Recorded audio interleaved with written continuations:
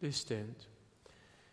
Alleluia, Alleluia, Alleluia.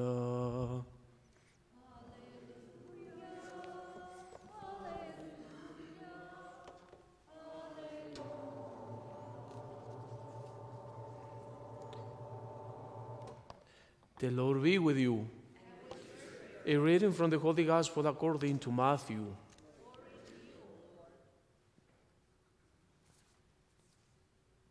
John the Baptist appeared preaching in the desert of Judea and saying, Repent, for the kingdom of heaven is at hand. It was of him that the prophet Isaiah had spoken when he said, A voice of one crying out in the desert, Prepare the way of the Lord, make straight his path. John wore clothing made of camel's hair and had a leather belt around his waist. His food was locust and wild honey. At that time, Jerusalem, all Judea, and the whole region around the Jordan were going out to him and were being baptized by him in the Jordan River as they acknowledged their sins. When he saw many of the Pharisees and Sadducees coming to his baptism, he said to them, You of vipers, who warned you to flee from the coming wrath, produce good fruit of, as, as evidence of your repentance, and do not presume to say to yourselves, We have Abraham as our father. For I tell you, God can raise up children to Abraham from these stones. Even now, the axe lies at the root of the trees. Therefore, every tree that does not bear good fruit will be cut down and thrown into the fire. I am baptizing you with water for repentance, but the one who is coming after me is mightier, mightier than I.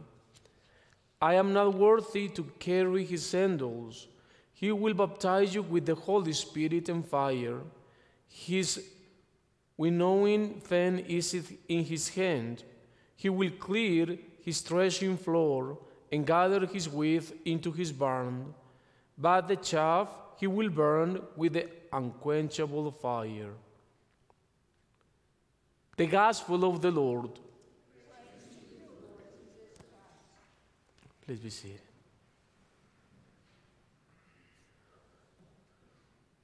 Four important people in this Advent time, chronologically speaking, is Prophet Isaiah. That's why we will be hearing the Prophet Isaiah in the first reading. He lived about 700 years before the historical coming of our Lord Jesus Christ. The second is John the Baptist, the Virgin Mary, and obviously our Lord Jesus Christ.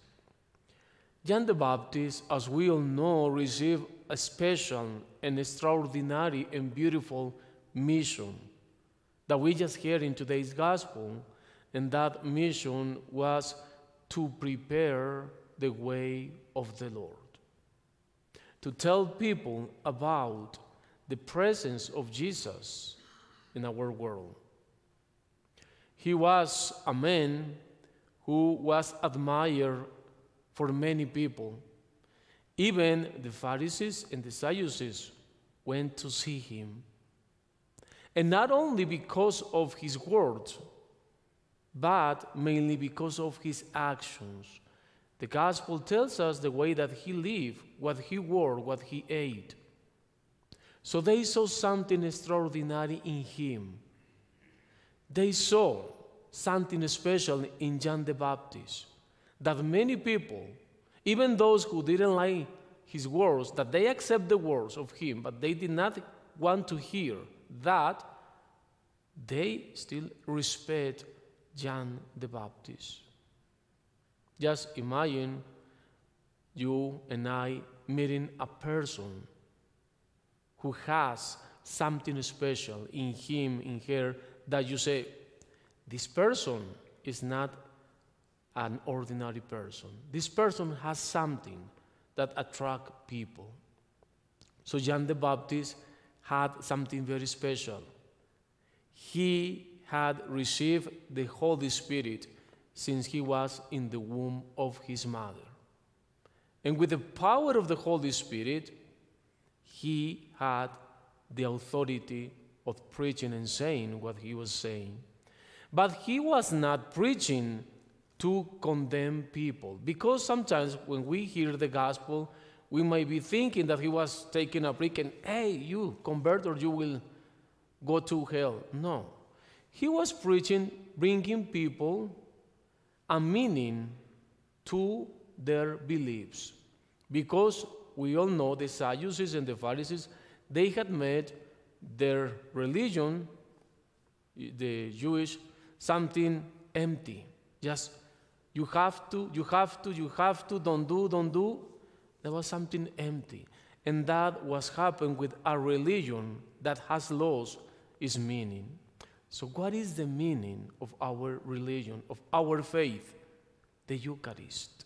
The Eucharist is the most sacred, it's not a thing, but this is the most important and sacred uh, thing, let us say, that we have in our church. Some Catholics, they value the gift of the Eucharist. Others, they don't.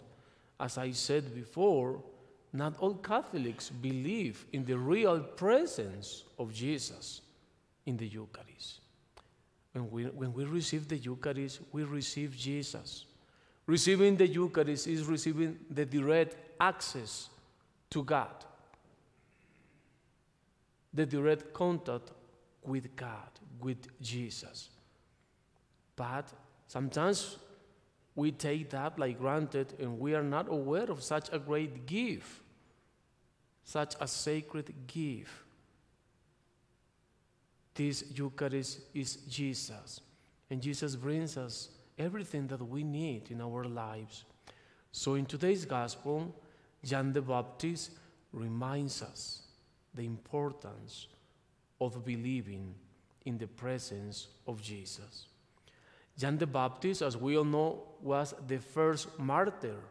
He was the first one to give his life, to give testimony of what he believed. John the Baptist, as Jesus said, was the most important of all men born for a woman, but also the most humble man, and he was even confused for them to be the Messiah. Just imagine the way that he lived, that many people thought that he was the Messiah. And one of the 12 apostles, before being apostles, they were disciples of John the Baptist. So he was a very well known man, a man who grew up in the desert, far from distractions, far from noises, to dedicate himself to his mission. We have heard many times that all of us have received a mission. It will be important to ask ourselves how am I pursuing my mission? How am I doing in that mission that I have received from God? Because all of us know that we are alive, that we were created, that we are in this world, because God has a mission for us. And that mission should bring us hope in what we believe.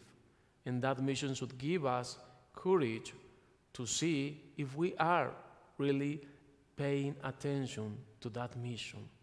So today I want to pray to the intercession of this wonderful and extraordinary prophet, John the Baptist, that our conscience also should be open to see if we really are spending our lives pursuing our missions.